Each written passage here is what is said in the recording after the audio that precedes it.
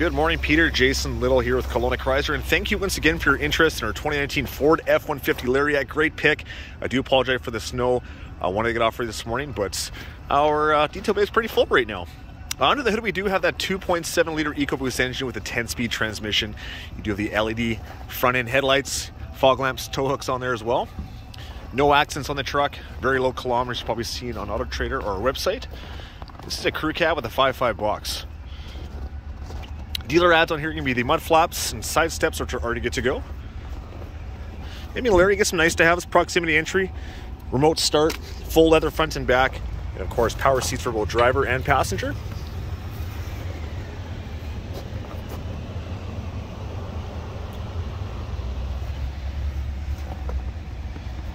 And also on that note, the seats are heated and cooled in this package as well.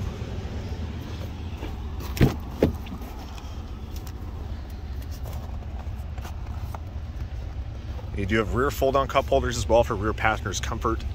Latch point systems for any car seats. Heated seats, forward-facing vents as well. And a couple charging ports here, one also being 110 volt power inverter. Spray and bed layers already done. As you can see, you multiple tie-down points and LED bed lamps. On the rear, you have rear park assist sensors, class 4 receiver hitch. Backup camera, which is also illuminated by LED tail light and also a dampened tailgates, which can be released obviously from here or on the fob as well.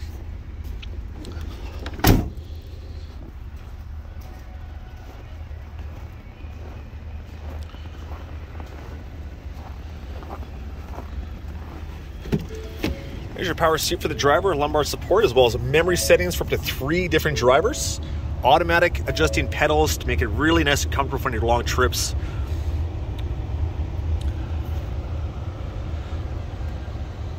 This also comes with uh, blind spot detention, sorry, detection, as well as um, autonomous emergency braking. Here you can see your trailer assist, four-wheel drive, push button start, heated and cooled seats, built-in navigation.